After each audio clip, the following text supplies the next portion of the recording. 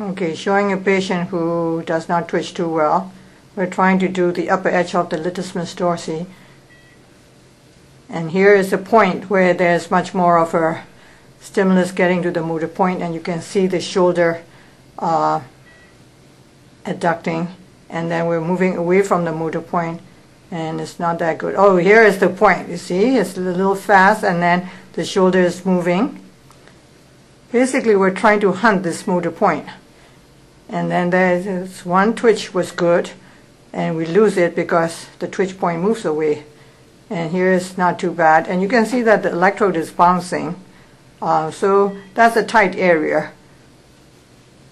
So it couldn't come out. But now that's, that's not too bad because you can see the shoulder adducting. And then there's some rapidity to it now. You see, we wait there till it stops moving. Oh, it became faster, and now it stops slowing down.